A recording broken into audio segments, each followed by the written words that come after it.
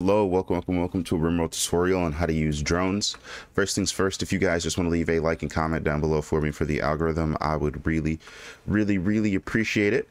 Um, here, let me go ahead and spawn me in some chem fuel real quick so I can uh, essentially show you guys how to do this. Um, in the meantime, though, like I always say, just go ahead and leave that like and comment for me. I would really, really, really appreciate it. So then we'll just spawn some chem fuel. Okay.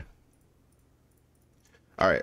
So there's a couple different uh, drones, or there's two as of right now. And in order to use them, you have to go to research and research the hunter drone. It'll be after um, microelectronics. So once you get to the hunter drone that's after microelectronics, um, you can in your security section you can actually place hunter traps and that's what's right here. So let's go ahead and build this hunter trap. Okay missing 30 chem fuel. So we'll go ahead and grab this. And then start building. Okay now you have one trap and this is gonna just be like a heat seeking drone to any enemy that's nearby.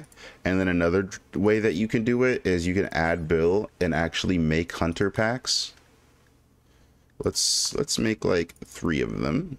And then uh, if you have crafting skill over six then you'll be able to go ahead and craft them and put them on the back of your character. And then it's going to work like a heat seeking drone that um, if enemies are detected it just jumps off of your back and will attack them. If you guys have any questions comments or concerns make sure to go ahead and put them down below. But other than that though it's been a RimWorld tutorial. Thank you guys so so much for watching have a wonderful day